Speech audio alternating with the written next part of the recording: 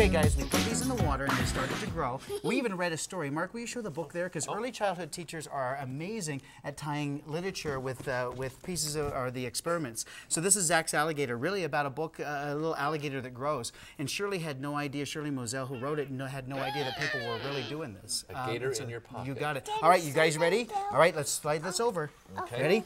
Are you guys is- ready? Three, How long have these been growing? one, about four days. Ready? Okay. Ta- ta-da!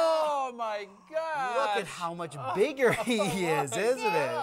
Are you ready? Who wants to hold Clyde? Okay, hang on to Clyde.